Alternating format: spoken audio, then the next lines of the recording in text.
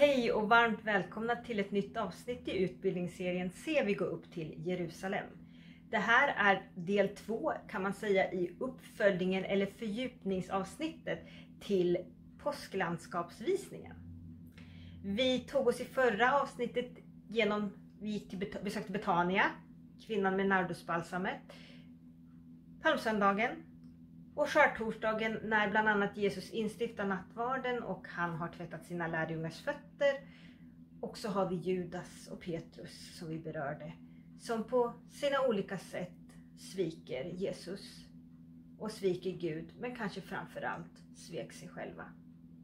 Och det tror jag är på ett sätt också det yttersta i att vara människa och det konkretiseras och det visar Judas och Petrus på.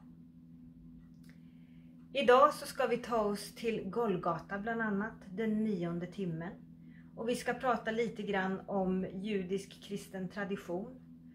Och så kommer vi att eh, ta oss ungefär till gravläggningen.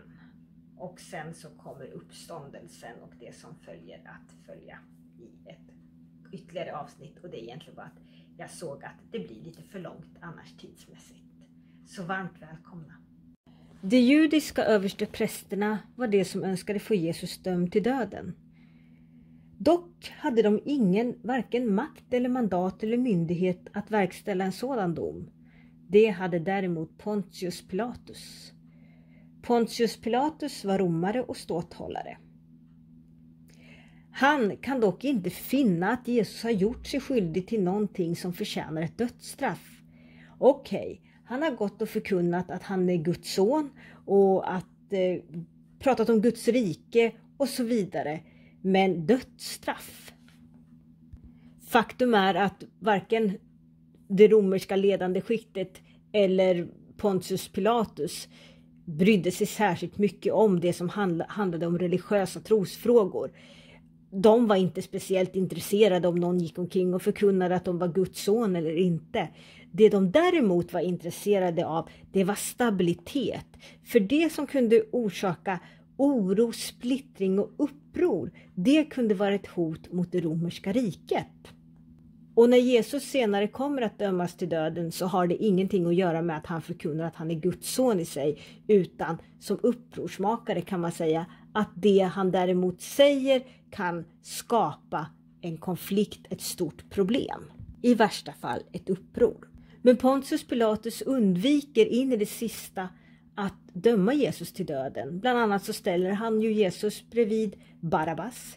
Vi vet inte exakt vad Barabbas har gjort, men vi vet att han var med i det uppror som lär ha skett vid den här tiden och att människor har mördats i samband med det här upproret. Vad har Jesus gjort? Ja, okej, okay, han har pratat om att han är Guds son, men i jämförelse. Men i och med att det var folket som skulle bestämma och folket ropade att det var Barabbas som skulle friges så hade inte Pontius Pilatus så mycket att välja på mer än att följa de lagar och förordningar som var och det var att Jesus skulle dömas till döden. Pontius Pilatus däremot tvår sina händer innan han verkställer den här domen och säger att det här får vara ert ansvar. Och begreppet att två sina händer är ju något som vi än idag använder. Jesus döms för övrigt till döden genom att han ska korsfästas och det var inte bara en plågsam död, det var också en väldigt vanärande död. Romerska medborgare dömdes inte till korsfästelse utan det var slavar och upproriska utlänningar. Och före död, sin död, eller före man blev korsfäst, så var alla möjliga former av grym tortyr ett vanligt inslag. Något som även kommer att drabba Jesus. Från det att Jesus döms till döden och det att han faktiskt spikas upp på ett kors på Golgata så kommer han bland annat att vandra. Han får ju bära sitt kors själv och den här vandringen brukar kallas för Via Dolorosa, smärtornas väg. Jesus korsfäst i den tredje timmen. I den sjätte timmen faller ett mörker över hela jorden som varade fram till den nionde timmen. Det är i den nionde timmen som Jesus tar sitt sista andetag. Det är i den nionde timmen som Jesus säger med hög röst Eloi, Eloi, lema sabachthani som betyder Min Gud, min Gud, varför har du övergivit mig? Och det är en känsla som jag tror att vi alla någon gång under våran livstid antingen redan har känt eller kommer att känna på olika sätt och i olika situationer. Och då ska vi komma ihåg att till och med Jesus i sin mänskliga gestalt ställde sig den här frågan. Jesus och Gud förstår fullt ut vad det är att vara människa.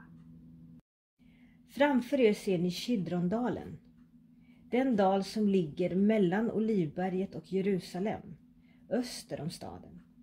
Vid solnedgång så ligger Kidrondalen i skugga och benämns ibland Dödsskuggans dal. Den leder Jesus in i hans lidande på Golgata. Men genom Jesu död, lidande och uppståndelse så kommer liv att flöda. Längst ner så möter Kidrondalen Hinnomsdal. Hinnomsdal, Gehenna. Ge, dal och Henna, Hinnom.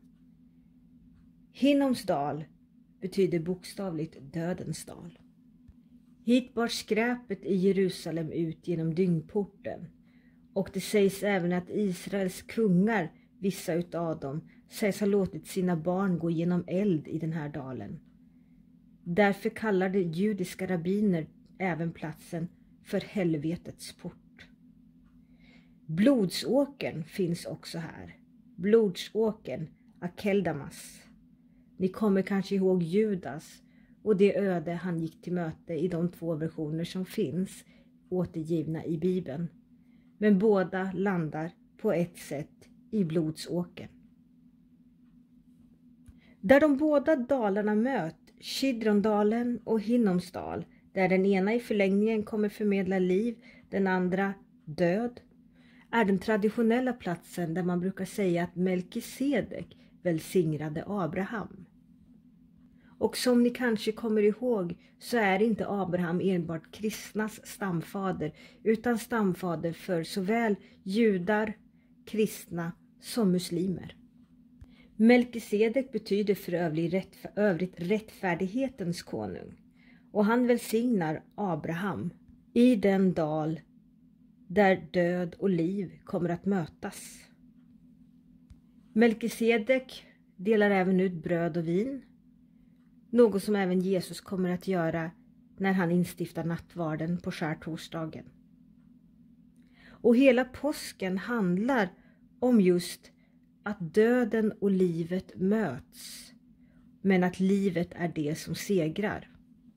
Och platsen där Kidronsdal och Hinnomsdal möts är också bokstavligt platsen där man kan säga att livets dal och dödens dal möts.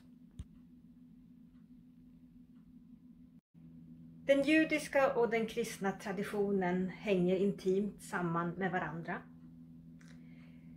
En sak som är väldigt intimt sammanbundna är ju just att Jesus dör i den nionde timmen.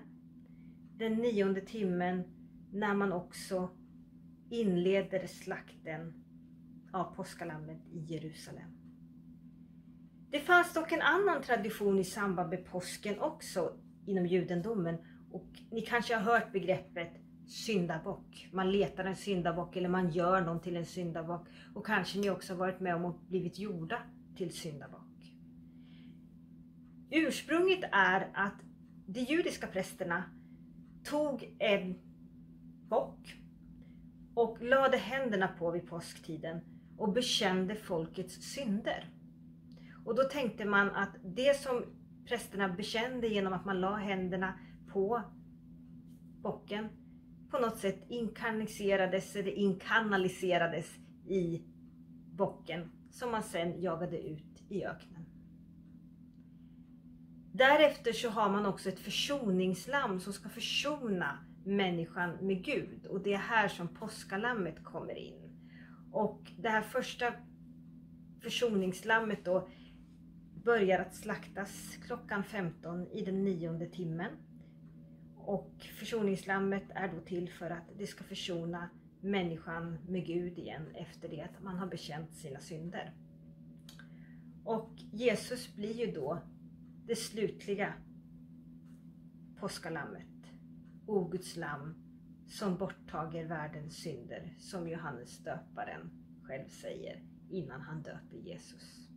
Innan Jesus tar sitt sista andetag på korset kommer ytterligare en händelse att ske som sammanlänkar den judiska och den kristna påsken.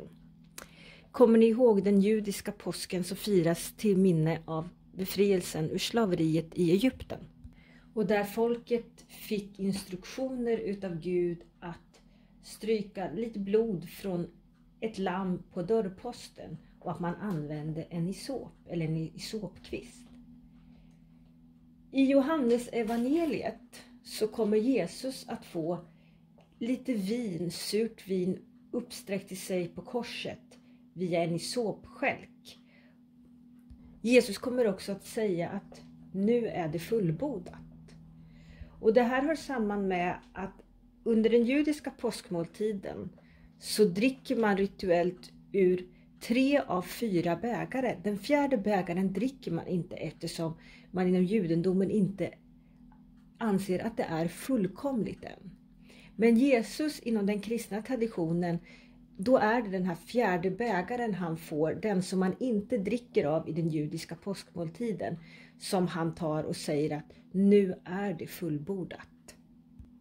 Och ibland brukar man lite förenklat säga att den judiska påskmåltiden genom Jesus fullbordande kom fokuset att flyttas från tillbakablick, det vill säga tillbakablick och ihågkommandet av uttåget ur slaveriet och befrielsen, till det framtida, till Guds rike. Och det rituella årliga påskalammet som slaktades är Jesus själv. Jesus dog i den nionde timmen brast även förhänget. Förhänget var det som separerade det allra heligaste från övriga delar av templet.